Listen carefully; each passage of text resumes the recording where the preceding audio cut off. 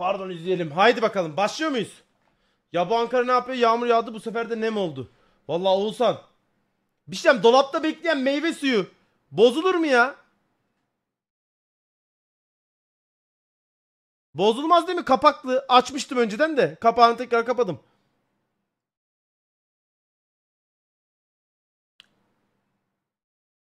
Ne kadar ekşi lan. Serepenti'ye abone olmuş. Hoş geldin. Kaç kişi abonelik geldi lan? Ne oluyor? Kaç kişi lan o? Fehmi 100 kişi abonelik etmiş. Eyvallah kardeşim. Biz geliyor. Gelin amına koyayım. Hadi. Gelin. Go. Seha chat. Aleykümselam. Aleykümselam. Şu an abone olanlar e, ayarlardan abonelik permini alsın. Ya abi efendim. Karma Kara abone olmuş hoş geldin. Dördüncü ay.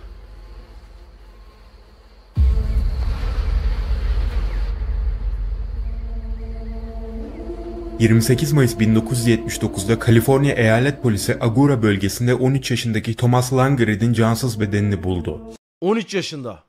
Genç yarı çıplaktı ve cansız bedeninin cinsel organları yoktu. Ne? Thomas'ın cansız bedeni üzerinde yapılan otopside çok sayıda bıçak yarasının yanı sıra boğulma belirtileri de tespit edildi. Thomas ayrıca cinsel istismara uğramıştı. Oha. Ne yazık ki bu korkunç suç yaşanacak bir dizi cinayetin sadece başlangıcıydı. Ne kadar sert başladı lan video. 21 kişiyi katletmiş adam. The scene always looks the same. A young, white, thin male, completely nude. Signs of strangulation, many with rope burns around the ankles and wrists. And the big question is who and how many people are responsible for these murders? I've covered many, many murder stories in my uh, 48 year career on television. And what happened on these murders and how these poor young victims died uh, turned my stomach.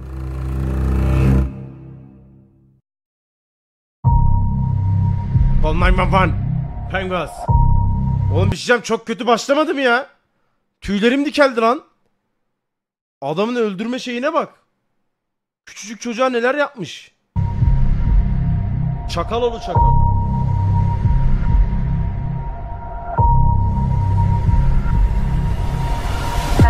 What's your emergency?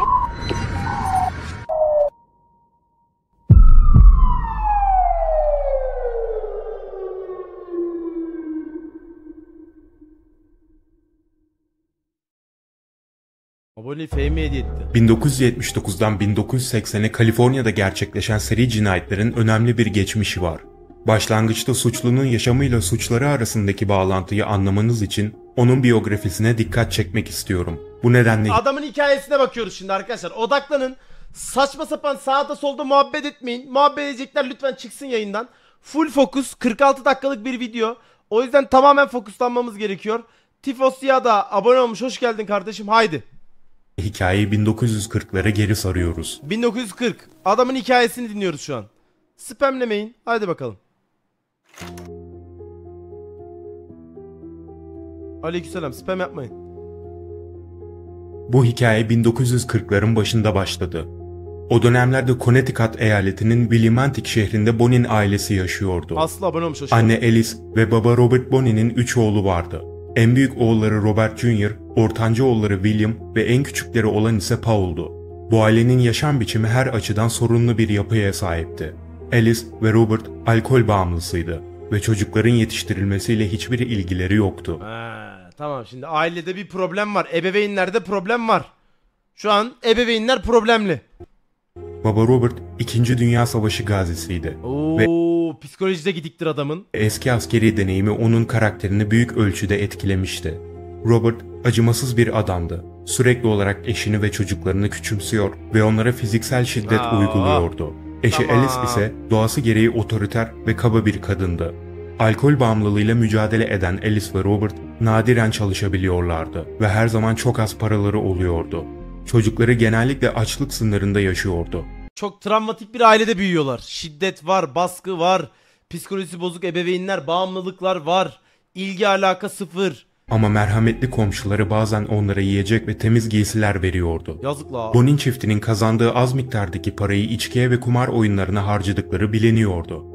1950 yıllarında baba Robert evini kaybetti ve bu nedenle aileleri Mansfield şehrindeki Alice'in annesi olan anneannesinin evinde yaşamak zorunda kaldılar. Adam bir de kumarda mımarda evim evi de kaybediyor amına koyayım. Kumar bağımlılıkları nedeniyle Robert ve Alice sürekli evden uzaktaydı ve çocuklarına anneanneleri bakmak zorundaydı. Ne kadar kötü bir durumda olursa olsun Bonin çifti çocuklarını Katolik olarak yetiştiriyordu. Küçük Yeni yaşlarından başladı. itibaren Robert Jr., William ve Paul adlı kardeşler Katolik okuluna gidiyordu. Ancak dini eğitim onlar üzerinde olumlu bir etki bırakmıyordu. Fark ediyor musunuz bu arada? Ya Penguin's'un izlediğimiz videoların çoğunda hep bir problem aileden başlıyor. Yani aslında sadece düzgün ebeveynler çocuk yetiştirebilirse bu tarz problemli vakalar %85, %90 azalacak. Yani 10 video izlediysek 8'inde 9'unda hep problemli ebeveynler. Hep problemli aileler. Tüm problem aileden başlıyor. Öyle evet travmalar orada başlıyor. Aynen öyle Okan. Sonra da çocuklarda ileride tabii ki de psikolojik problemler, psikolojik sıkıntılar başlıyor. Ortanca kardeş olan William 5 yaşındayken akranlarına karşı saldırgan davranışlar sergilemeye başladı. Bak Bir keresinde bir grup genç kızın üzerinden bisikletle geçmiş ve bu nedenle çocuk ıslah evine Valla. Bebenin kafa direkt yanmış oğlum. Demek ki bir yatkınlık da var. gönderilmişti. 1953 yılında Bonin ailesinin mali durumu daha da kötüleşmeye başladı. Alice ve Robert çocuklarını geçindiremeyecek hale geldiler. Büyük oğulları Robert Jr. ve William'ı Katolik Fransız Amerikan Yetim Okulu'na gönderdiler. Bu okulda ise disiplin çok sertti ve öğretmenler çocuklara sık sık fiziksel güç uyguluyordu ve okul kurallarının ihmal edilmesi halinde sert cezalar veriyorlar. Aa, şimdi bir de okulda travma. Bak bir de üstüne bu girdi şu an. Bir dakika şu arkadaki şeyi halledeceğim. Devam edelim. yaptı. Böyle bir ortamda bu okuldaki öğrenciler de birbirlerine karşı saldırgan davranışlarda bulunuyorlardı. Okulun öğrencileri 6 yaşındaki William'a sık sık zorbalık yapıyordu. Ağabeyi Robert Jr. onu koruyamıyordu. Çünkü okuldaki öğretmenler kardeşlerin birbirleriyle iletişim kurmasını yasaklamıştı. Bir keresinde gençler William'a zorbalık yaparken 13 yaşındaki başka bir yetim çocuk onu korumuştu. Şimdi a- aile ilişkilerini istemiyorlar. Niye? Çünkü o zaman bunlar klanlaşmaya başlar. Düşünsene okulda 3 kardeş var. Hepsinin bir iki de arkadaşı olsa hepsini bir ayarlasalar hani bunları kolay kolay ezemezler. 7-8 tane çocuk klanlaşmaya başlar. O yüzden onu da engelliyorlar. Her yerde baskı var şu an. Şu an bayağı travmatik bir hayat görüyoruz arkadaşlar. Ancak daha sonra William'ı tuvalete götürerek cinsel saldırıda bulunmuştu. Yetim okulunda geçirdikleri süre boyunca Robert Jr. ve William her şeyin yolunda olup olmadığını görmek için ebeveynleri tarafından hiç ziyaret edilmedi. Hatta bir noktada William anne ve babasının öldüğünü bile düşünmeye başlamıştı. Ancak Mayıs 1955'te Bonin çifti çocuklarını yetimhaneden almaya geldi. O yılın sonbaharında Robert Jr. ve William bölgedeki yerel bir okula başladılar. William, yeni okulunda da diğer öğrencilerin alaylı ve zorbaca davranışlarına maruz kaldı. Hayda. 8 yaşındayken William, küçük çocuklara ve erkek öğretmenlere karşı cinsel bir ilgi duyduğunu fark etmeye başladı. Bu onu utandırmıştı ve sosyalleşmesini daha da zorlaştırmıştı. Ayrıca o dönemde ebeveynlerinin yokluğunda Bonin ailesinin çocukları sık sık annelerinin büyük babasının gözetimi altında kalmıştı. Büyük babaları istismarcı bir adamdı. Oha oğlum daha ne olsun amına koyayım yani bir hayatın rezil olması için hani tek başına yetecek olan şeylerin hepsi birleşmiş çocuğa lan. Beşinci altıncı olay falan ha. ve torunlarına fiziksel Daha 8 yaşında. ve cinsel tacizde bulunduğu söyleniyordu. Yaşam koşulları nedeniyle ağabeyleri Robert Jr. büyüdükçe agresifleşti ve küçük kardeşlerini sık sık dövüp aşağıladı. Bu sırada William'ın erkek cinsiyetine olan ilgisi artmaya başladı ve bir gece küçük kardeşi Paul'u taciz etmeye çalıştı. Anneleri Alice ise bu durumu öğrendi ve o andan itibaren William'ın başka bir odada kardeşlerinden ayrı bir şekilde yalnız uyumasını sağladı. 1962 yılının başlarında Robert'ın babası makinist olarak kazançlı bir iş bulmayı başardı. Yeterince para kazandıktan sonra bir ev satın aldı ve ailesini Torrance şehrine taşıdı. Bu sırada William 15 yaşındaydı ve liseye gitmeye başlamıştı. Matematik ve fen bilimleri için güçlü bir yatkınlığı vardı. Ancak diğer okul derslerinde başarılı değildi. Toplum içinde sosyalleşemeyen William sürekli olarak dışlanan biriydi. Hiç arkadaşı yoktu ve tek hobisi bowling oynamaktı. William'ın gençlik yıllarında annesi onun erkeklere olan ilgisini fark etmeye başladı ve bu durum sürekli olarak tartışmalarına yol açtı. William nadiren karşı cinse sosyalleşmeye çalıştı. Ancak daha sonra Linda adında bir kızla romantik bir ilişki kurmayı başardı. Çocuk gay ama başka bir kızla da şey yapıyor şu an. O zaman biseksüel mi oluyor?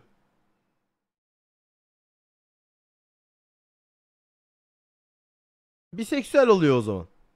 Ancak daha sonra anlaşıldığı üzere William, Linda ile sadece annesinin cinsel yönelimi konusundaki endişelerini yatıştırmak için ilişki yaşıyordu. Aa, Bayağı gay.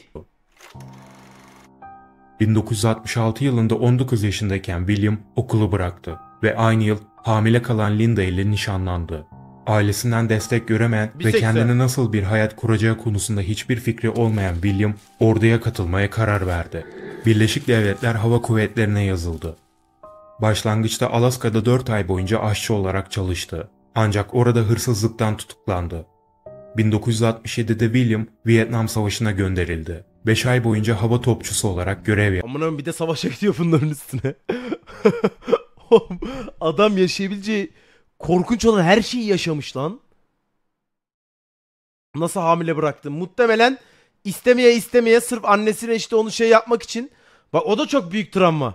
Hani adam gay ama sırf annesi ve babası tarafından o baskıdan kurtulmak için kadına istemeye istemeye bile ilişkiye girip bir şeyler yapıyor. yaptı. Hatta bir keresinde yaralı bir pilot arkadaşını kurtarmak için hayatını tehlikeye attı. Bu başarıdan dolayı William cesaret madalyası aldı. Bir de askerlik arkadaşını kaybetsin silah arkadaşını var ya bu adam iyice. Askerlik hizmeti sırasındaki başarılarına rağmen karakterinin daha olumsuz yönlerini göstermeye başladı. William'a göre savaş deneyimleri ona insan karşıtı fikirler aşılamıştı. Bazı tanıdıklarına iki askeri de silahla tehdit Splinter, ederek cinsel geldin. saldırıda bulunduğunu bile itiraf etmişti. Oo. William Bonin orduda yaklaşık 3 yıl boyunca görev yaptı ve 21 yaşında onurlu bir şekilde terhis edildi. Ne yapıyor? Kafanı sıkarım lan. Kafana sıkarım şap şap şap. Ne yapabilir ki yani? O bence taciz değil de bayağı tecavüz mü ediyor o zaman lan? Çok korkunç oğlum. Orduda yaklaşık 3 yıl boyunca görevle itiraf etmişti. Larına iki askeri de silahla tehdit ederek cinsel saldırıda bulunduğunu bile itiraf Cinsel saldırı diyor. etmişti. William Bonin Kafa yanmış oğlum lan. orduda yaklaşık 3 yıl boyunca Çok korkunç oğlum. görev yaptı ve 21 yaşında onurlu bir şekilde terhis edildi. Şunlara gülenlere bir mesajlara müdahale edin arkadaşlar. Savaştan döndükten sonra nişanlısı Linda'nın kendisini beklemediğini ve William'dan doğan oğlunu da alarak onu başka bir adam için terk ettiğini öğrendi. William'ın Linda'ya karşı büyük bir sevgisi olmamasına rağmen ihaneti onu kesinlikle üzmüştü. Ailesinin evine geri döndü ve aynı zamanda bir benzin istasyonunda çalışmaya başladı. Dur dur dur şurayı kaçırdım bir dakika. Doğan oğlunu dıştan Bir de üstüne aldatıldı mı? Ben mi yanlış şey yaptım amına koyayım? 21 yaşında onurlu bir şekilde terhis edildi. Bayağı onurlu bir şekilde terhis edilmiş. Savaştan döndükten sonra nişanlısı Linda'nın kendisini beklemediğini ve William'dan doğan oğlunu da alarak onu başka bir adam için terk ettiğini öğrendi. üstüne aldatılıyor. William'ın Linda'ya karşı büyük bir sevgisi olmamasına rağmen ihaneti onu kesinlikle üzmüştü. Ailesinin evine geri döndü ve aynı zamanda bir benzin istasyonunda çalışmaya başladı. Bon'in ailesi William'ın karakterinin savaştan döndükten sonra büyük ölçüde değiştiğini fark etti. Ancak o kendisinde olan herhangi bir değişikliği kabul etmedi. Yani arkadaşlar şu an adam 21 yaşında ve 21 yaşına kadar şu yaşadığı şeyler çok korkunç. Cidden çok korkunç ve bu adamın zaten delirmeme ihtimali yok. Akıl sağlığını koruyamaz. Geri kalan 38 dakikayı siz düşünün.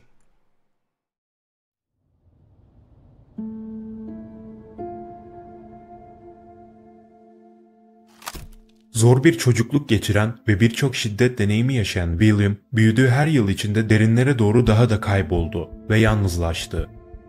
Hayattan nasıl zevk alacağını, nasıl mutlu olacağını ve aşk duygusunu bilmiyordu ve hissedemiyordu. William, ruhundaki en heyecan verici duygulardan sadece Zaten çoğu psikopat ve katiller hep çocuk yaşta yaşadıkları travmalar sonucu bu hale geliyorlar. Herkes ebeveyn olmasa sadece bilinçli kişiler çocuk yapsa ve çocuklarını akıllarının erdiği yaşlara kadar korusa ve bu tür travmaları yok açmamak için çaba gösterse dünyada psikopat ve seri katilinin sayısı ciddi düşüş olur. Öyle olur da işte dünya düzeni de bunu kabul etmez. Dünya düzeninde çünkü cahil cüela da lazım.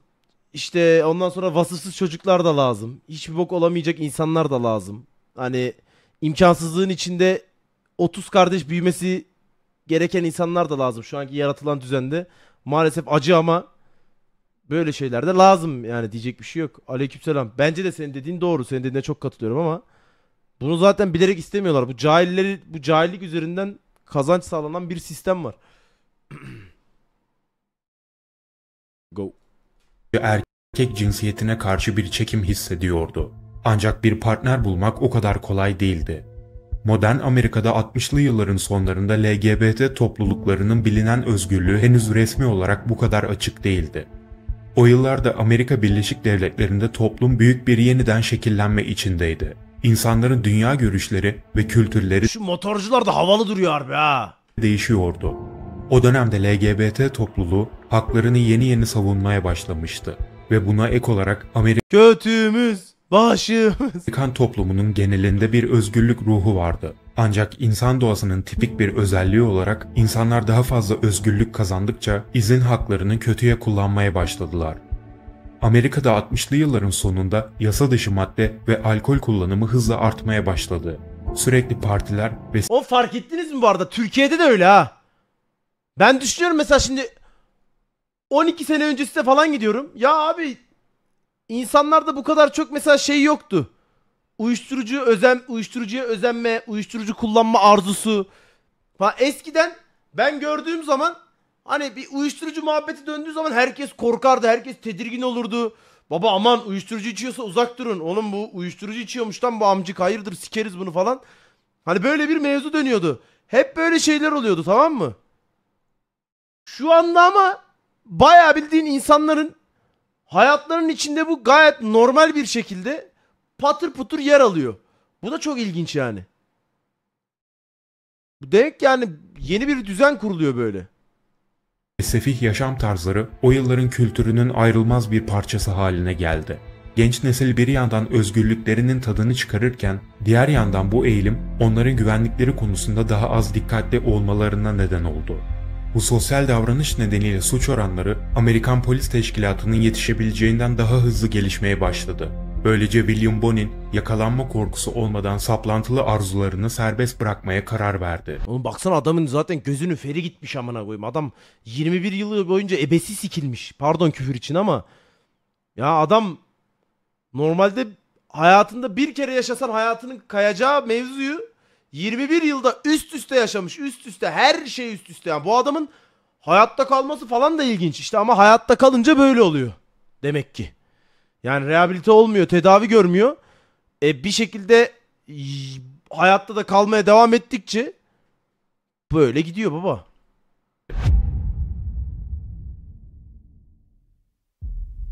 17 Kasım 1968'de William annesinin arabasını aldı ve ilk kurbanını aramak üzere yola çıktı. Uzun bir aramadan sonra Arkadya'nın otoyollarından birinin kenarında yürüyen yalnız bir genç gördü ve durup onu eve bırakmayı teklif etti. Bu gencin 14 yaşındaki Billy Jones olduğu ortaya çıktı. Billy, William'ın yardım teklifini kabul etti ve herhangi bir tehlike hissetmeden onunla birlikte arabaya bindi. Yolculuğun birkaç dakikasında William, Billy'e eşcinsellik hakkında sorular sormaya başladı. Bir şeylerin ters gittiğinden şüphelenen genç arabadan atlamaya çalıştı. Ancak William onu engelledi. Yakındaki bir alışveriş merkezine gidip arabasını oraya park ettikten sonra William, Billy'yi kelepçeledi ve arabanın içinde ona tecavüz etti. Billy, yaşadığı şok nedeniyle bilincini kaybetti. Genç kendine geldiğinde William onu parklardan birine bıraktı ve olay yerinden kaçtı. Korku içindeki genç aceleyle eve döndü ve olayı ailesine bildirdi. Ananı sikeyim olaya bak. Şimdi ilk öldürmedi. Şu an ilk bu vakaya böyle bir başlangıcı yaptı bu deli. Ailesi hemen polisle temasa geçti. Ancak failin adını bilmiyorlardı ve Billy'nin sözlerinden sadece dış özelliklerini kabaca tarif edebiliyorlardı. Birkaç gün sonra William polisin onu bulamayacağına ikna oldu. Böylece William'ın suça olan ilgisi daha da arttı ve yeni bir kurban bulmaya karar verdi. 26 Kasım'da William Bonin, Torrance şehrinden 17 yaşındaki otostopçu John Treadwell'i arabasına aldı. Bir önceki vakada olduğu gibi gence cinsel yönelimini sormaya başladı. John'dan olumsuz yanıt aldıktan sonra William arabayı süratli kullanmaya başladı ve silah zoruyla genci kendisine boyun eğmeye zorladı. Arabayı sessiz bir alana park ettikten sonra William ona tecavüz etti. Piç kurusuna bak oğlum. John'u serbest bırakmadan önce kafasına bir levye ile vurdu ve John'a olanları birine anlatırsa onu bulup öldürmekle tehdit etti.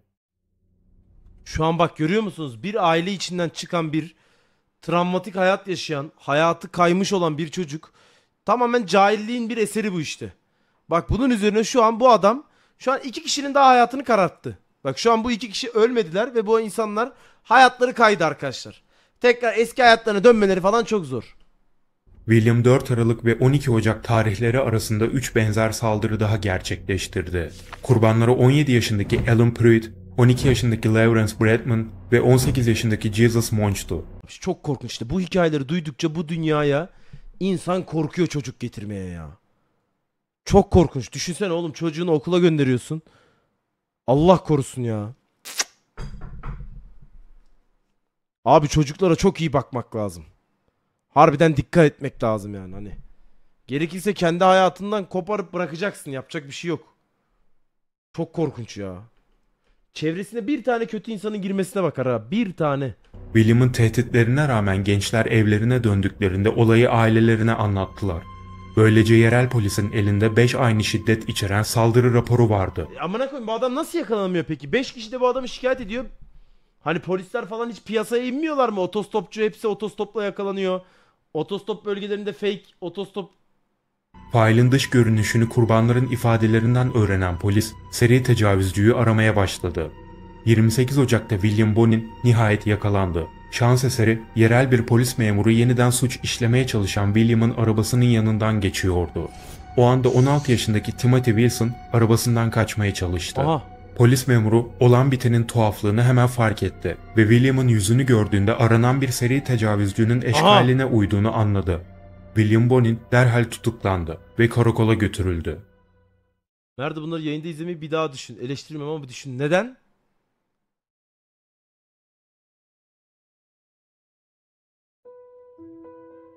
Hapishanede geçirdiği bir ayın ardından William iki psikiyatrik değerlendirmeden geçirildi. Başlangıçta psikiyatri uzmanları ona depresyon belirtileri ve kontrol edilemeyen zihinsel dürtüler teşhisi koydu. İlk tıbbi görüşmeler sırasında William çocukken istismara maruz kaldığını reddetti.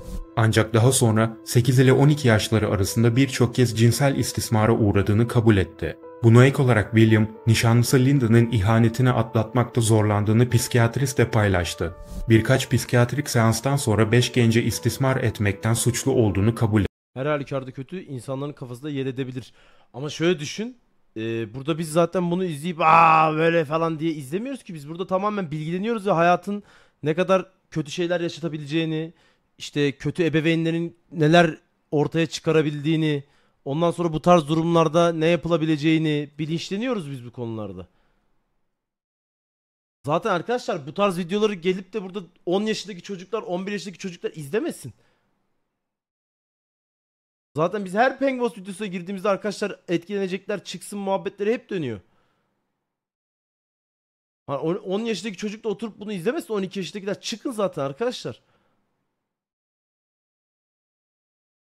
Ya insan korkuyor da ya şöyle diyeyim yani bu o zaman hiçbir şey yapamayız ki o zaman mafya oyunu da oynamayalım. Onu da yapmayalım, bunu da yapmayalım. Bunlar tamamen bilinçlenmek üzerine gayet güzel içerikler oluyor bence. etti ve pişmanlığını dile getirdi. Vietnam'da yaptığı askerlik hizmetinin suç davranışını etkilediğini ve savaştan döndükten sonra kadınlarla ilişki kurmakta zorlandığını söyledi. İşlediği suçlardan dolayı pişmanlık duyduğunu ifade eden William, hapisten çıktıktan sonra bir aile kurarak ve pilot olarak hayatını yoluna koymak istediğini söyledi. Akıl sağlığı uzmanları William'ın cinsel suçlu olduğu sonucuna varmıştı. Ancak ruhsal bozukluğunun tedavi edilebilir olduğunu düşünmüşlerdi. Suçunu kabul ettikten sonra William, tedavi için Kaliforniya'daki Atascadero Psikiyatri Hastanesi'ne nakledildi. Tamam şimdi mesela bu adam e, psikolojik tedavi için tedaviye geliyor. Neden tedavi olamadan dışarıya tekrar çıkıp da bozuluyor yani? Orada inceleme falan ne oluyor acaba? Tıbbi uzmanlar William üzerinde pek çok sayıda psikiyatrik muayene gerçekleştirmişti. IQ'sunun normal bir zeka seviyesi olan 121 olduğunu ortaya çıkardılar. Psikiyatri doktorları William'a manik depresyon, cinsel sadizm ve antisosyal kişilik bozukluğu teşhisi koydu. Fiziksel muayenede ise doktorlar William'ın kafasında ve kalçasında büyük yara izleri buldu. William, yara izlerinin nereden geldiğini hatırlamadığını ancak yetimhanede kaldığı sırada bu izlerin oluşmuş olabileceğini söyledi. Psikiyatristler çocukken istismara uğradığına dair anılarını hafızasında bastırdığı sonucuna vardılar. Çocukluğunda ona ilgi ve sevgi gösterebilecek kimsenin olmadığını tespit ettiler. Bu gerçeğe rağmen William nedense duygusal olarak annesine bağımlıydı. Buna karşılık annesi Alice de oğlunu küçümsüyor ve onu işe yaramaz biri olarak görüyordu. William, psikiyatri hastanesinde tedavi gördüğü sırada düzenli olarak grup terapisti seanslarına katılıyordu. Psikiyatristler onun diğer hastalıklara karşı savunmacı ve saldırgan tutumunu hemen fark etmişti. William'ın davranışları diğer hastaların onu birkaç kez dövmesine yol açmıştı. Buna ek olarak William eşcinsel olduğunu inkar etti ve 1971'de zihinsel engelli iki hücre arkadaşını istismar etti. Allah Allah Allah Allah. Doktorlar cinsel davranışlarının kompulsif olduğunu ve stres durumlarında ortaya çıktığını tespit etti. William'ın diğer hastalara karşı sorunlu davranışlarına rağmen hastane personeli tarafından sakin, sempatik ve vicdanlı olarak tanımlanmıştı. 11 Haziran 1974'te William Bonin taburcu edildi. Çünkü doktorlar artık insanlar için tehlike arz etmediğini düşünüyorlardı. Cinsel sadizmi olan bir insanın neden o harbi la. Ne yazık ki William'ın doktorlara karşı sakin ve nazik davranışlarının hastaneden bir an önce taburcu olmak için yaptığı bir manipülasyon olduğunu bilmiyorlar. Tabii o zamanlar psikiyatri falan da çok gelişmiş melişmiş değil muhtemelen. Sallıyorlar geçiyorlar. Burada mesela büyük sorumsuzluk var.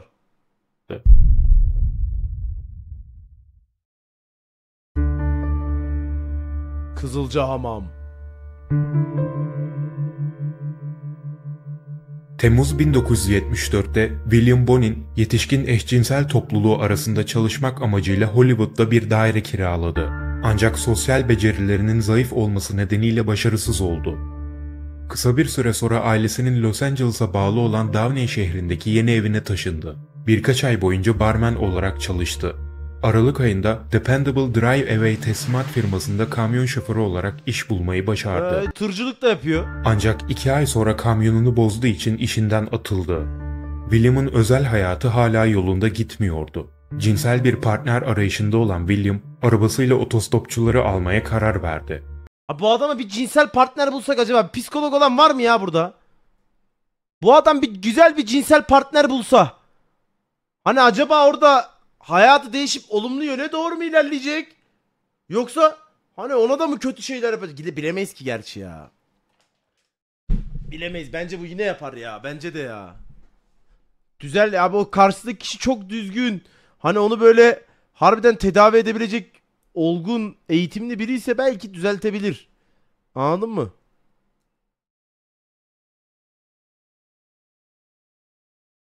Düzelmez ya. Düzelebilir ya. Bilemeyiz. Bu şekilde otoyolda fuhuş yapan gençleri bulmayı başardı. 8 Eylül'de William, Kaliforniya eyaletine bağlı olan Garden Grove şehrinde arabalara otostop çeken 14 yaşındaki David McVicker ile tanıştı. David, William'ın kendisini eve bırakma teklifini kabul etti. Arabasına biner binmez William ona Eylül cinsel yönelimini sordu. Kendini tehdit altında hisseden David arabadan inmeye çalıştı. Ancak William arabasının hızını arttırdı ve gence silahla tehdit ederek boyun eğdirmeye zorladı. David'i boş bir araziye götürüp şiddet uygulayıp istismar etti. Orospu Tişörtünü kullanarak genci boğmaya çalıştı. Ancak David onu hayatta tutması için yalvarmaya başladı. William aniden onu boğmayı bıraktı. Özür diledi ve David'i evine götürdü. David'i bırakmadan önce William, sen normal bir insansın. Seni öldürecektim ama senin için geri dönmek ve seni tekrar kullanmak istiyorum Ne? dedi. David eve döndüğünde olayı hemen annesine bildirdi ve annesi de polise ihbarda bulundu. 11 Ekim 1975 Tutuklandı mı? Zera abone olmuş hoş geldin. tarihinde William Bonin tekrar tutuklandı. Ya daha çıkmasın abi. Çıkmasın da. Polis memurları ayrıca David'e yapılan iki saldırıdan iki gün sonra William'ın başka bir gençle cinsel ilişkiye girdiğini ve bunun için gence 35 dolar ödediğini öğrendi.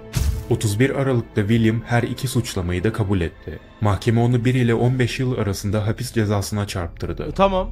Hapsedildiği süre boyunca William çeşitli psikiyatrik değerlendirmelerden geçirildi. Tıbbi uzmanlar William'ın psikiyatrik terapi seanslarında ilerleme kaydettiğine inanıyor ve zihinsel durumunun iyileşmesini beklediğini öngörüyorlardı.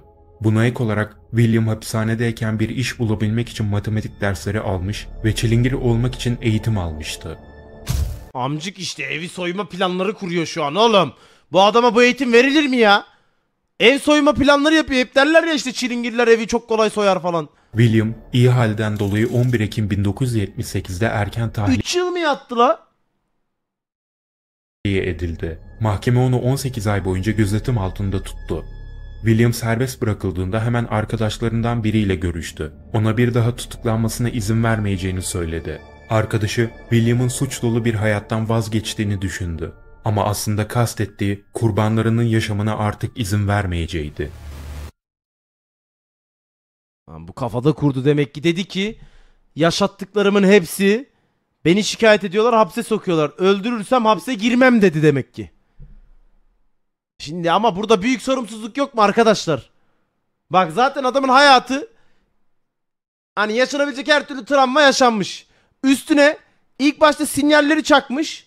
Üstüne sinyalden sonra yine sinyali çakmış. Geliyorum, geliyorum, geliyorum diyor. Adam hala dışarıya salıyorlar.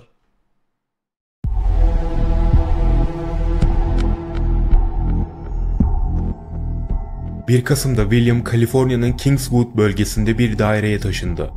Orada 43 yaşındaki komşusu Everett Fraser ile tanıştı. Fraser'ın dairesi sürekli olarak yasa dışı madde ve alkol içeren partilere ev sahipliği yapıyordu ve William o andan itibaren bu partilere sık sık katılmaya başladı. Amanın partiden adam kaçıracak bu şimdi ya. Fraser, William'ın saygılı ve sessiz bir insan olduğunu düşünüyordu. Eşcinselliğinin farkındaydı. Bu nedenle onu sık sık erkek arkadaşlarıyla tanıştırıyordu.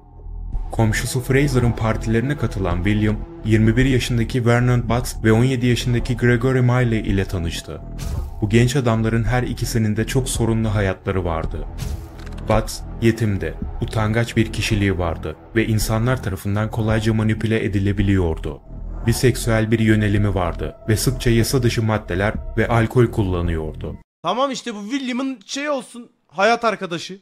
William'la tanışmadan önce 3 kez hayatına son verme girişiminde bulunmuştu. Ayrıca Butts'ın bir evi yoktu. Hırsızlık ve kundakçılık suçlarından çok sayıda mahkumiyeti vardı. Oo. Bu nedenle zaman zaman hapse giriyordu. Butts ve William tanıştıktan bir süre sonra cinsel partner oldular. Aa bak olmuşlar.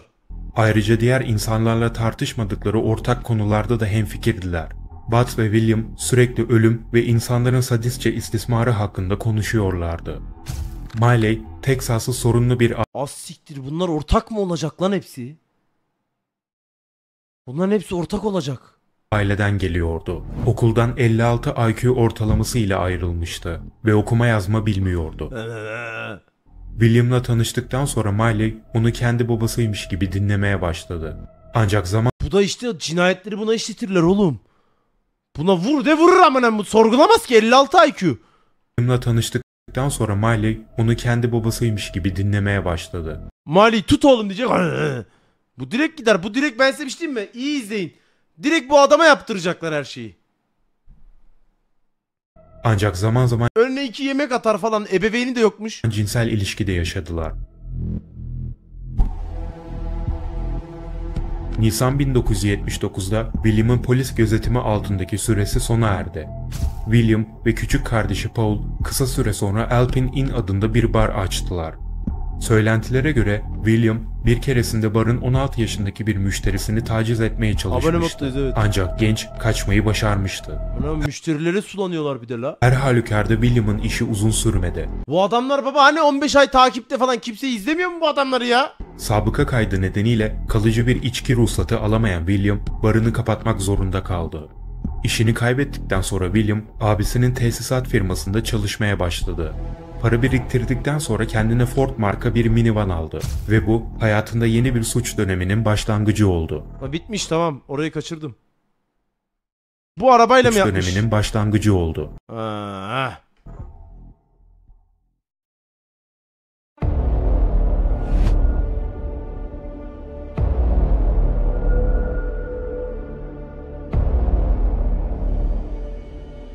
Buyur cenaze namazına. 28 Mayıs 1979'da 13 yaşındaki Thomas Landgren arkadaşlarıyla yürüyüşe çıkmak için evden ayrıldı. Ancak Thomas bir daha eve dönmedi. Arkadaşlarına göre Thomas Yapma baba işte ya. o gün kendisini bir kaykay dergisi için fotoğraf çekimine davet eden bir adamla tanıştı. Thomas'ın adamla nasıl ya da ne zaman tanıştığına dair hiçbir tanık yoktu. O akşam Thomas'ın cansız bedeni evinden 26 kilometre uzaklıktaki Aguara mahallesinde yol kenarına atılmış olarak bulundu. Bildiğin şu an herkes el biriyle tuttuğu bir adet canavar yaratıldı arkadaşlar.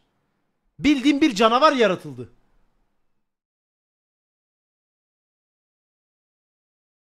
Bildiğin canavar yaratıldı ya. Bilgisayardan bir uyarı geldi de ona baktım. The nude body of a young boy was found off Mulholland Highway today, stabbed multiple times and sexually mutilated. Sadist. Thomas neredeyse çıplak halde bulundu. Cansız bedeninde çok sayıda bıçak yarası, boğulma izleri vardı ve cinsel organı yoktu. Olay yerini ya. inceleyen polis memurları gencin kıyafetlerini ve kopmuş cinsel organını yakındaki bir tarlada buldu. Tıbbi uzmanlar Thomas'ın vahşice tecavüze uğradığını ve ölüm nedeninin boğulma olduğunu belirledi. Tüm bu korkunç suç William Bonney'nin işiydi. Olayı üstlenen dedektifler başlangıçta suç mahallindeki faili bulmak için yeterli kanıt bulamadılar. William'ın geçmişte bu suçtan şüphelenebilecek bir sabıka kaydı olmasına rağmen eyalet genelinde onun dışında aynı sabıka kaydına sahip birçok suçlu daha vardı. Dedektiflerin William'dan şüphelenmeleri için hiçbir neden yoktu ve bu da ona suçlarına devam etme özgürlüğünü verdi. Tarih abi tarih çok eski 4 ya. Ağustos'ta William Bugs ile vakit geçiriyordu ve suçu işlemesini önerdi. O da kabul etti. William'ın minibüsüyle kurban ararken Beach Boulevard otoyolunda 17 yaşındaki Mark Shelton ile karşılaştılar. William cinsel ilişki karşılığında Mark'a 400 dolar teklif etti ve genç kabul etti. Mark'ı minibüse aldıktan sonra ıssız bir yere gittiler ve William ona tecavüz etti. Tecavüzden sonra William, Bugs ile birlikte bir sopa ve diğer ağır nesneler kullanarak Mark'ı bilincini kaybedene kadar dövdüler. Yoğun fiziksel acı nedeniyle Mark şoka girmişti ve bu da ölümüyle sonuçlanmıştı. William ve Bugs, cansız bedenini Kajon Dağ geçitindeki çakıllı bir yola attılar. Yerel polis, Mark'ın cansız bedenini olaydan bir hafta sonra buldu. Allah Allah. İki oldu. ikinci ölüm. You picked him up. Did he happen to say where he was going? I believe he said he was headed down through Mexico, headed down towards South America. We started heading south, and uh, I started talking to him about his, uh, did he meet any gay people and everything, and he told me he was gay himself. Ne alaka adam bunu niye söylüyor ki geri ya şu an? So that's when I asked him if he'd like to get it on, and he said yes. So I turned around and headed north. I parked, and uh, we got in the back. and started Anlatıyor bir getting de on. lan. And that's when I stabbed him in the arm. Um, I stabbed him in the left arm. I stabbed him again, and then again and again. I pulled him out of the van, and uh, he was still alive. I just kept on stabbing him. Baba baba baba. Was he nude or was he, uh, He was nude. okay. Orospu 5 çocuğuna Ağustos bak, gecesi- Yüzsüz gibi anlatıyor lan bir de bunu. William ve Buds, Marcus Graves adında 17 yaşında bir öğrenciyle tanıştı. Marcus, Pasifik sahil yolu üzerinden otostop çekmeye Malibu la bu şey. çalışıyordu ve William'ın otostop teklifini kabul etti. William'a göre Marcus da eşcinseldi ve William ile kendi rızasıyla cinsel ilişkiye girdi. William, Marcus'un ayaklarını ve ellerini bir ip ve arabalarda bulunan ateşleme kablosuyla bağlamıştı. Cinsel ilişki sonrasında William, Marcus'a hayatta kalma şansı vermedi. Onu 77 kez bıçakladı Oha! ve boğarak öldürdü. Ertesi gün yerel polis Marcus Graves'in cansız bedenini Kaliforniya'da bulunan Malibu Creek yani Malibu deresine atılmış olarak buldu. 77 ne oğlum? Bu adam zarar verdikçe de bir haz elde ediyor bak. Oğlum çok korkunç bir adam. Bu adamın zaten dışarıda olması saçmalık. Saçmalık üstüne saçmalık. On August 6th, Marcus Grabs, 17, West Germany, was discovered stabbed to death in the Tapas Park area north of Malibu. Forensic tests have shown that Grabs had been sexually assaulted. 9 Ağustos'ta William 17 yaşında bir çocuğu kaçırmaya çalıştı. Bir tane daha 18 yaşının üstü de yok ha. Bu çocukların hepsi otobanda nasıl buluyor? Çocuklar ne işi var la otobanda? 13 yaşında bebeğin otobanda ne işi var oğlum? Ne yapıyor ki 13 yaşındaki bebek otobanda? Markete mi gidiyor? Nereye gidiyor la? Ancak genç kaçmayı ve polise haber vermeyi başardı. Böylece William tutuklandı. Bu olay William'ın şartlı tahliyesinin ihlali anlamına geliyordu.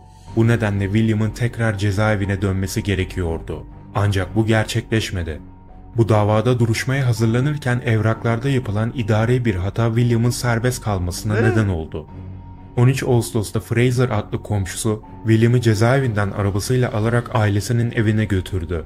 Bir süre sonra mahalle sakinleri arasında William'ın genç erkekleri alkol satma bahanesiyle sık sık evine götürdüğü söylentileri yayıldı.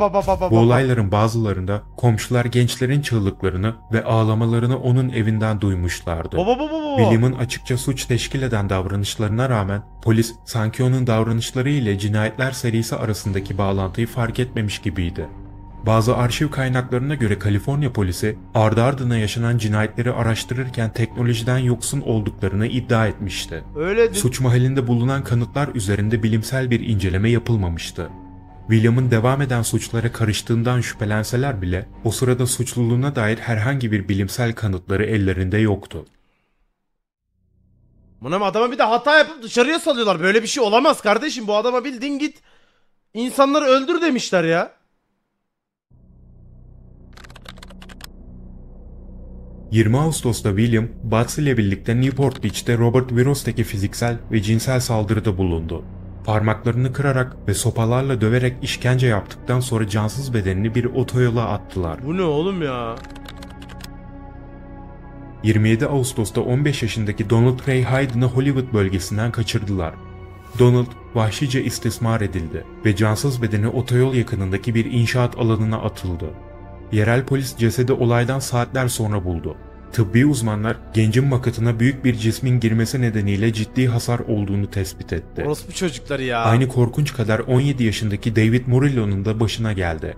9 Eylül günü akşam saatlerinde bisiklete binmekteydi. Ancak yolda William ve Butts ile karşılaşma talihsizliğini yaşadı. İki ay sonra suç faaliyetlerine devam ettiler ve bir genci daha kaçırdılar. Adı bilinmeyen bu çocuk kimsesiz bir yetimdi. Cansız bedeni Kaliforniya'da bir otoyolda kafasına saplanmış bir buz kıracağı ile bulundu. 30 Kasım'da William, 17 yaşındaki Frank Fox'a karşı tek başına bir suç işlemişti. Polis, Frank'i bulduğunda cansız bedeni tamamen çıplaktı ve üzerinde ip izleri ve çok sayıda yara vardı. Koyayım bölgede kaç tane tacizci bir orospu çocuğu var işte. Bir tane tecavüzcü bir orospu çocuğu var. Dört kere girip çıkmış şu adamın peşine düşün artık ya. Olay yerinde ölen gence ait herhangi bir giysi ya da başka bir kişisel eşya bulunamamıştı. Adam dört kere tacizden zaten 10 gelmedi gün mi sonra ya? William, Long Beach Township'ten 15 yaşındaki John Kilpatrick'i kaçırdı. John'un cansız bedeni 13 Aralık'ta bulundu. Ancak kimliği uzun süre tespit edilemedi. John'un ailesiyle olan kötü ilişkisi nedeniyle annesi oğlunun kaybolduğunu 2 ay boyunca polise bile bildirmedi. John'un cansız nedeniyle ancak kimliği uzun süre tespit edilemedi. John'un ailesiyle olan kötü ilişkisi nedeniyle annesi oğlunun kaybolduğunu 2 ay boyunca polise bile bildirmedi. John'un cansız bedeni 8 ay boyunca polis kayıtlarında John Doe olarak yer aldı. John Doe'de Doe bilinmeyenlerin soyadını Doe yapıyorlar. Bu arada öğrendiğim diğer ilginç bir bilgi ise Amerika'da gerçek kimliği belirlenemeyen ya da yasal gerekçelerle gizli tutulması gereken kişilere ve kimliği saptanamayan cesetler için John Doe, bu isim erkekler için ve Jane Doe ise kadınlar için kullanılan bir takma isimdir. Bunu biz biliyoruz. Eightborn izleyenler de biliyordur. I believe it was more for the the torture and the killing than it was for the sex. And as time went on, it got so that uh, the torture part was uh, more important. Uh, just a feeling of superiority, of having the power. William her ay yeni bir kurban bularak özgürce dolaşırken polis seri katilin kim olduğunu bulmakta başarısız oldu. Tüm kurbanların 12 ile 19 yaşları arasında çoğunlukla Avrupa ya da İspanyol kökenli olduğunu biliyorlardı. Benzer bir görünümleri vardı. İnce yapılı, soluk tenli ve genellikle uzun saçlıydılar. Bu vakanın soruşturulması tüm kurbanların eyaletin farklı yerlerinde bulunması nedeniyle karmaşık bir hal almıştı. Suç mahalleri çoğunlukla otoyollar ya da uzak boş yerlerdi. The scene always looks the same. A young, white, thin male, completely nude. Signs of strangulation, many with rope burns around the ankles and wrists. 1980'de ve o yılın ilk gününde William, manik dürtülerine dayanarak bir suç daha işledi. Chino Havaalanı yakınlarında 16 yaşındaki Michael McDonald'ı yasa dışı madde satma Oh. bahanesiyle minibüsüne çekti. Gencin tecavüze uğramış ve darp edilmiş cansız bedeni şehrin eteklerindeki bir otoyolu Adam durmuyor. Adam durmadıkça yakalanmıyordu. ha. Hiçbir şey olmuyor. Harbi daraltı geldi ha.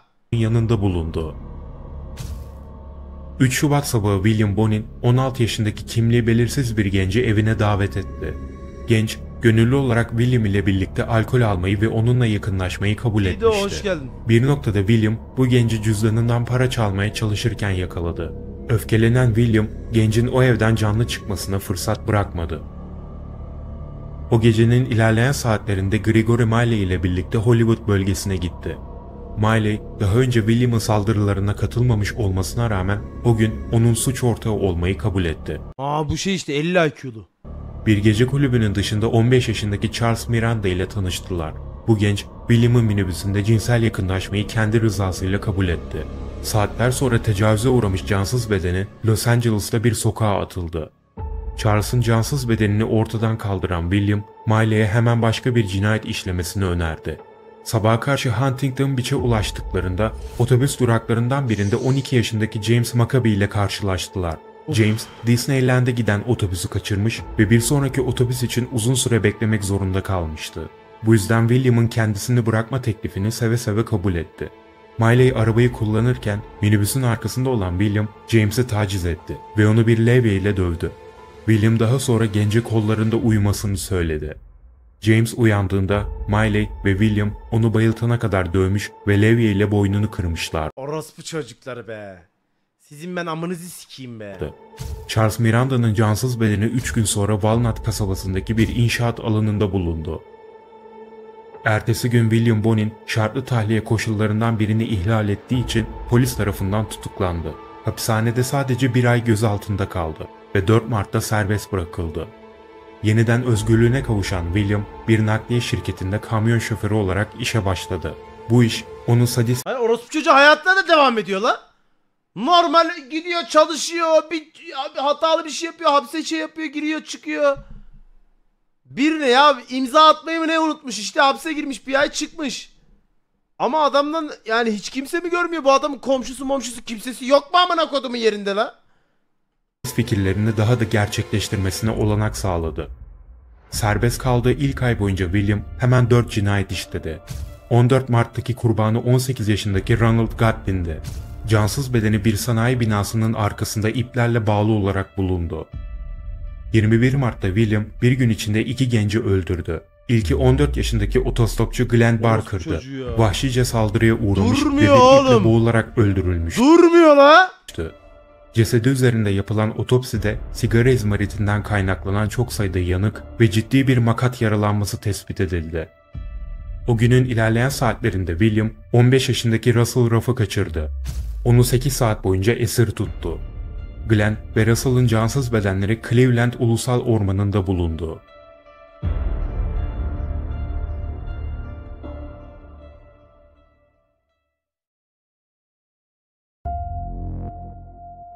Mart ayında bir cuma gecesi William komşusu Hani nasıl yakalanıyor çok merak ediyorum. Ben size bir şey diyeyim mi? Bu adam bala göte falan bir yerde denk falan gelip yakalayacaklar. Yoksa bu adam daha yakalanmaz ya. Aleykümselam. Fraser'ın partisindeydi. Orada 17 yaşındaki Pugh ile tanıştı.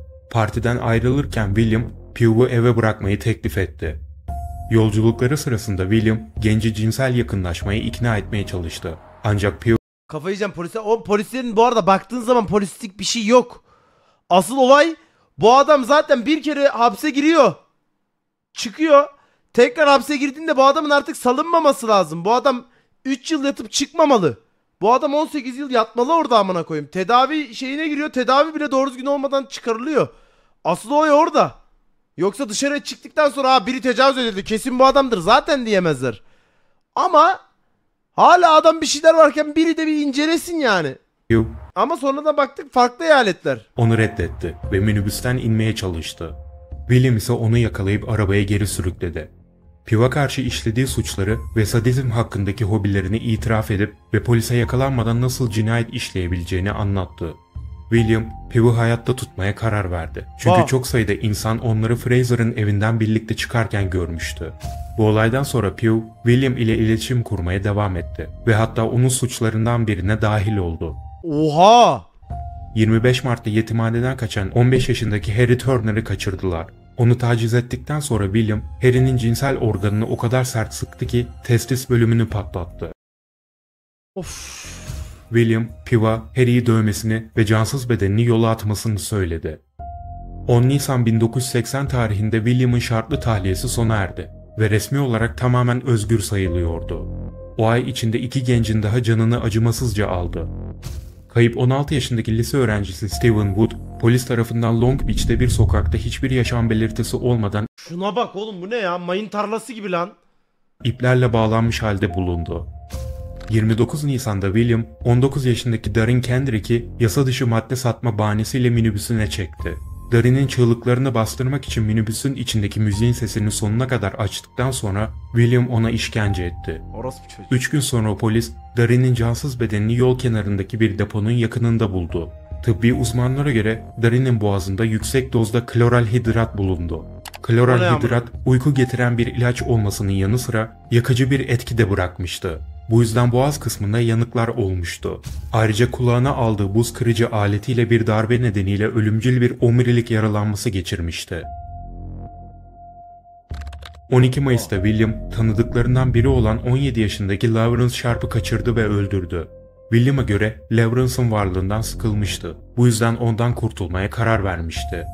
19 Mayıs'ta William, Batts'tan cinayet sırasında kendisine eşlik etmesini istedi. Ancak Batts bunu reddetti. Suç ortağının reddetmesi William'ı durdurmadı ve 14 yaşındaki Sean King'i tek başına kaçırıp öldürdü. Yok baba ya ben, ben küfür etmeye takatim kalmadı ya orospu çocuğu. 1980'in ilk baharının sonlarında William Bonney cinayet serisi medyada yoğun bir şekilde yer almaya başladı. Önde gelen eşcinsel hakları aktivistleri, seri katilin bulunmasına yardımcı olacak bilgi için 50 bin dolar ödül teklif etti. Cinayetlerin Kaliforniya'nın farklı bölgelerinde gerçekleşmesi ve her bir suçun farklı bir polis departmanı tarafından ele alınması polisin işini zorlaştırıyordu. Medyanın yoğun ilgisi sayesinde polis cinayetler arasında bir bağlantı kurabildi ve faili yakalamak üzere bir arama ekibi oluşturmak için işbirliği yaptı. Sonunda ya. Bu süre zarfında Pew bir araba çaldığı için tutuklandı. Aha. Anlat amına kodum veled anlat. Hapishanede tutuklu bulunduğu sırada radyo haberlerinde eyalet genelinde devam eden genç cinayetlerini duydu. Pew, hapishanede çalışanlardan birine bu suçların kimin işlediğini Aa! bildiğini itiraf etti. Pew'un itirafı Los Angeles Polis Departmanı'na iletildi ve ertesi Aa! gün bir cinayet masası çavuşu Pew'u detaylı bir şekilde sorguladı. Pew, çalışa William'ın hakkında bildiği her şeyi anlatmıştı. Ancak kendisinin de onun suçlarından birine katıldığını gizlemişti. Pew'dan bilgi alan dedektifler, William Bonney'nin sabıka kaydı hakkında bilgi almak için polis veri tabanını kontrol ettiler ve onun gerçekten de seri otoyol Ah. katili olabileceğine ikna oldular. Ne yazık ki fiziksel kanıt olmadan William'ı bu kadar kolay tutuklama yetkileri yoktu. Bu yüzden onu gözetim altına aldılar. O sırada William tutuklanma tehdidinden habersiz James Munro adında 18 yaşındaki evsiz bir kişiyi evine davet etti. Munro gönüllü olarak William ile yakınlaştı ve birkaç gün boyunca onun evinde ikamet etti. 1 Haziran'da William Munro'ya bir suç işlemesini önerdi. O akşam 18 yaşındaki Steven Wells'ı kaçırdılar. Suçu işledikten sonra William, Munro'ya Steven'ın cansız bedenini bir kolye koymasını söyledi ve ardından onu terk edilmiş bir benzin istasyonuna attılar. Bu olaydan sonra William, Munro'yu olaydan birine bahsetmesi halinde yaşamına izin vermeyeceği konusunda tehdit etti. William'ı 9 gün takip ettikten sonra 11 Haziran'da polis memurları onu Hollywood otoyolu boyunca yeni bir kurban ararken gördü. Birkaç başarısız denemeden sonra William gençlerden birini minibüsüne çekmeyi başardı ve bir benzin istasyonuna park etti. Polis memurları gizlice! William'ın minibüsüne yaklaştı ve içeriden gelen çığlık ve gürültü seslerini duydu. Hemen minivanın içine koştular ve William'ı 17 yaşındaki Harold Tate'e tecavüz ederken buldular. William. Bonin derhal olay yerinde tutuklandı. Dedektifler William'ın minivanını incelediler ve minivanın içinde cinayetler serisine bağlayan birçok ipucu ortaya çıkardılar. Minibüsün arka kapısının iç tarafındaki kapı kollarının kasıtlı olarak sökülmüş olduğunu keşfettiler. Yani William'ın kurbanları minibüsün arkasına girdiklerinde dışarı çıkmanın bir yolu yoktu. Dedektifler William'ın kurbanlarına işkence etmek için kullandığı birçok farklı bıçak, pense, tel askı ve birçok diğer farklı alet buldu. Minibüsün torpido gözünde gazete küpürleri bulundu. William'ın işlediği suçlarla ilgili gazete haberlerini topladı ve böylece ortaklarına bunlarla övündüğü ortaya çıktı. Tıp uzmanları yaptıkları araştırmanın ardından William'ın kurbanlarının kan DNA'ları ile minibüsünde bulunan DNA örnekleri arasında bir eşleşme buldu. Buna ek olarak neredeyse her suç mahallinde yeşil tekstil lifleri bulundu. Bu lifler William'ın minibüsünün arka yolcu bölümündeki halıdan alınan lif örnekleriyle eşleşti. Kurbanların cansız bedenlerinde bulunan failin saç ve sperm örnekleri de William'ın DNA örnekleriyle eşleşti.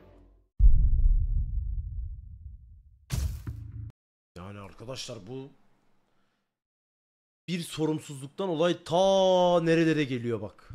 William tutuklandıktan sonra dedektifler onu birkaç gün boyunca sorguladı ve sonunda 21 cinayete itiraf etti. William, işlediği suçlardan dolayı pişmanlık duymadığını ve yakalandığı için çok üzgün olduğunu ifade Orospu etti. çocuğu. Polise işlediği cinayet Bu adamı bakın bu adamı öldürmeyeceksin. Bu adamı idam etmeyeceksin. Bu adamı hapiste çürütmeyeceksin. Bu adamı bayağı bildiğin alacaksın bir odaya işkence ya işkence. Her gün bir parmağını kopar aman Bir parmağının bir ucunu. Tak. Bir parmağın diğer ucunu. Tak. Bu adam bu. Ya en güzeli harbiden insanlık için deneylerde kullanacaksın. Her zaman bunu söylüyorum ama bu abi. Deneylerde kullanacaksın ya. Denek olarak kullanacaksın bunu. İşkence işkence boş amına koyayım. Harbi denek. Lerdeki başlıca suç ortağının Butts olduğunu ve Milev, Pew ve Munro'nun cinayetlerin sadece birkaçına karıştığını söyledi. William'ın itirafının ardından polis memurları suç ortaklarının geri kalanını bir hafta içinde buldu ve tutukladı. Suçlara karıştıkları evlerinde ve kişisel eşyalarında bulunan kanıtlarla bilimsel olarak kanıtlandı. Butts, polisle işbirliği yapmayı reddetti, suçunu inkar etti ve William'a karşı tanıklık etmeyi kabul etmedi. Hapishanede duruşmaya hazırlanırken Butts kendi canına kıydı. 11 Ocak 1981'de hapishane hücresinde kendini bir havluyla astı. Miley iki cinayet suçunu kabul etti. Bu hiçbir şey yapamaz ama bunun zekası yetmez ki. Mahkeme onu 25 yıldan ömür boyu hapse kadar değişen hapis cezalarına çarptırdı. Hapishanede bulunduğu sırada Miley başka bir mahkumun saldırısına uğradı. Yaraları nedeniyle 25 Mayıs 2016 tarihinde hayatını kaybetti. Ana öldü la. Munro 15 yıl ile ömür boyu hapis cezasına çarptırıldı. Munro'nun 2029 yılında şartlı tahliye başvurusunda bulunabilme şansı da mevcut.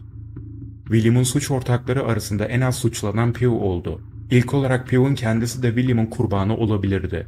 İkinci olarak Pew'un suçlardan birine karışması büyük ölçüde Pew'un William ile işbirliği yapmayı reddetme korkusundan kaynaklanıyordu. Mahkeme Pew'u 6 yıl hapse mahkum etti. Pew 4 yıl sonra 1985'te şartlı tahliye edildi. Çıkmış.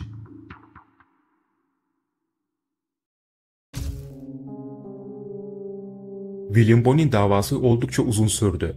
William iki kez avukat değiştirdi ve birkaç kez temize gitti. Ancak elbette cezasını hafifletmek için yaptığı tüm girişimler başarısız oldu.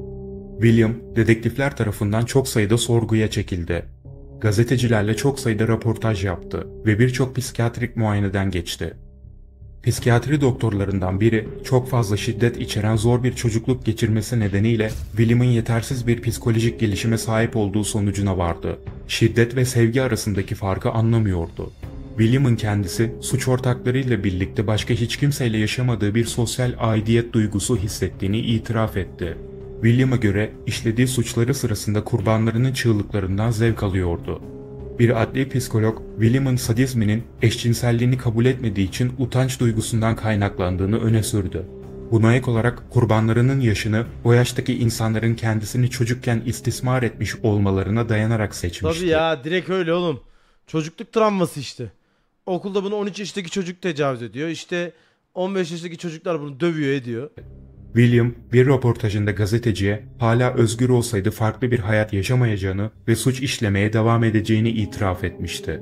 İşlediği her yeni cinayette kendini daha da iyi hissettiğini söylemişti. Soruşturmaya göre dedektifler William'ın 22 ile 36 cinayet işlediğini tespit etti. Ancak bu suçların yalnızca 21 tanesini kanıtlayabildiler. Bak gördünüz mü? 21 resmi olan amına koyayım resmi. İşlediğini tespit Soruşturmaya göre dedektifler William'ın 22 ile 36 cinayet işlediğini tespit etti. 36'ya kadar yolu var diyorlar. 36. Ancak bu suçların yalnızca 21 tanesini kanıtlayabildiler. Mahkeme onu enjeksiyonla ölüme mahkum etti. Nasıl enjeksiyonla ölüm ya? Çok basit bir ölüm abi bu adam için ya. Thankful that it's over with, and we had a super jury, and the verdict was he earned it. He earned it. Today, the so-called freeway killer was sentenced to death in the gas chamber.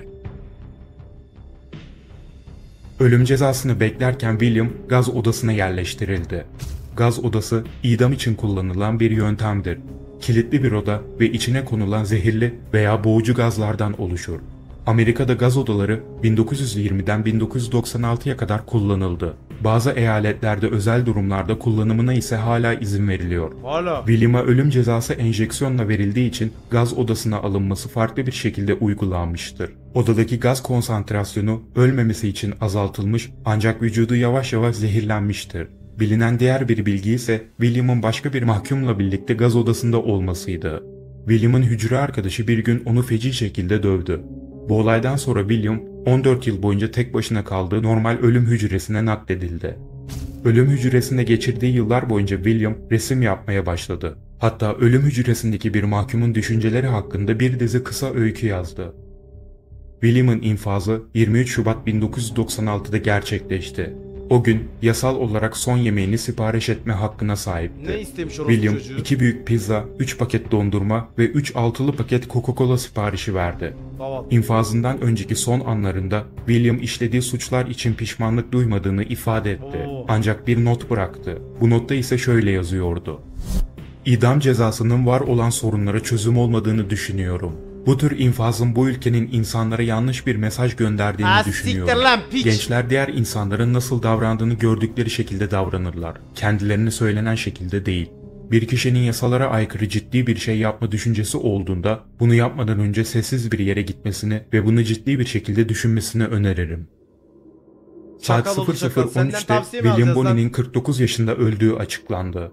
Bonin, Kaliforniya eyaleti tarihinde enjeksiyon yoluyla idam edilen ilk kişi oldu. İnfaz anında ailesinden kimse yoktu. Ancak ölen kurbanların bazı akrabaları infazı izlemeye geldi. William'ın ailesi infazdan sonra cenazesini almayı reddetti. Yetkililerin emriyle cansız bedeni yakıldı ve külleri Pasifik Okyanusu'na serpildi. Serpmeyin amına koyayım. onu. Yok et. O dursun orada sonsuza kadar bir yerde. De- ya okyanusa bile zarar verir. Bu tarz videoların devamı için ve bana destek olmak için lütfen kanalıma abone olmayı, videoları beğenip yorum yapmayı unutmayın.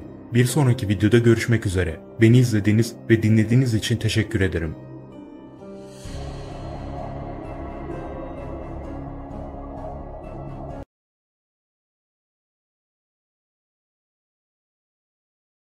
Bu adamın çıkmaması lazımdı yani. Bu, bu arada bir sanki bir belgeseli var gibi hissettim ben de. Bunun bir belgeseli var gibi hissettim. Ben izlemek istemiyorum belgeselini. Bayağı izlemek istemiyorum. YouTube'a olmuş ne bileyim benimki böyle oldu ya.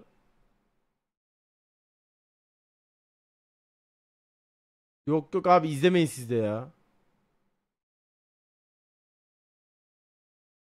Kafayı yedirir ya bu ne oğlum? Harbiden kafayı yedirir ya. Allah Allah Allah Allah. Tiyatro modunu alsana. Şu mu? O zaman da böyle oluyor.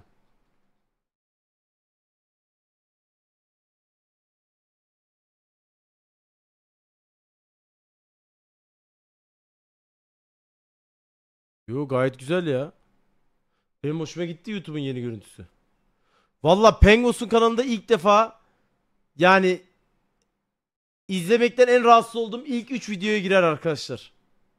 Pengos'un kanalında izlemekten rahatsız olduğum ilk 3 ilk 3'e net girer. Çok daralttı beni. Harbiden bir kötü hissettim. Bir şey yapılamayınca da harbiden şey oluyorsun yani. Bir şey yapılamadıkça sen yükseliyorsun. Sen yükseldikçe hiçbir şey olmuyor. Yine devam ediyor.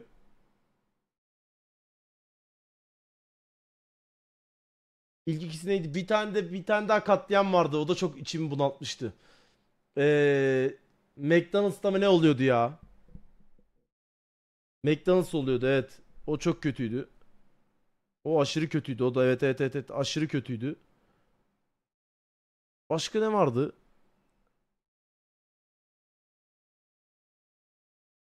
Hatırlamıyorum ki başka ya. Mesela çok şey çok ilginçti.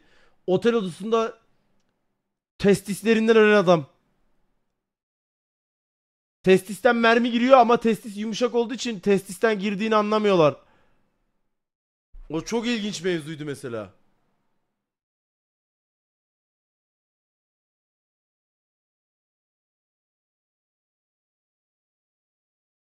İlginç baba. Harbi ilginç. Psikolojim bozuldu. Psikolojim bozuldu. Abi V3 ne zaman? O ne demek Mahmut? Merhaba, merhaba. Kimya mühendisi.